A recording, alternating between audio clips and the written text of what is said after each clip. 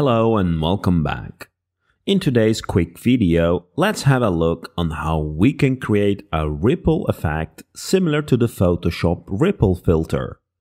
Affinity does have a ripple filter, however, it is more of a ripple in a water than a ripple of individual lines. Let me show you what I mean with this test document. As always, let's duplicate the existing group so we can work on a copy and keep the source intact.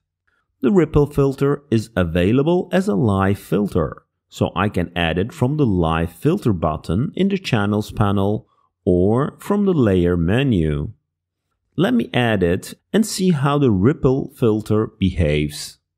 If I increase the intensity, you notice what I mean.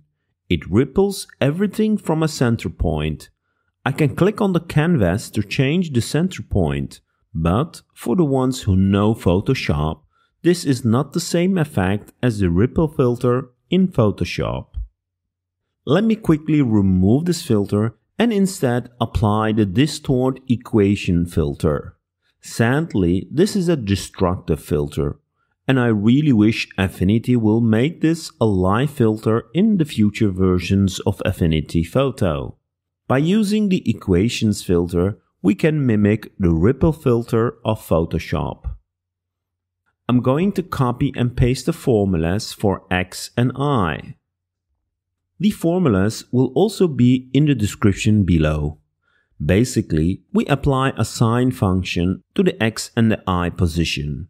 Using the three parameters A, B and C, I can now adjust the strength and the frequency for the desired effect. As you see, this creates a ripple on the lines itself and mimics the ripple filter from Photoshop. Pretty awesome. As a bonus tip, you can set the angular units to degrees. This creates a more of a waving flag effect. As mentioned, this is a destructive filter, so after I apply the filter, my group is converted to a pixel layer. Let me apply the ripple wave to the UN flag just for fun. Cool, we got ourselves an animating flag. Anyway, I hope you liked this short video and don't forget to hit the like button if you did. Thanks for watching and until the next video, keep safe and keep being creative.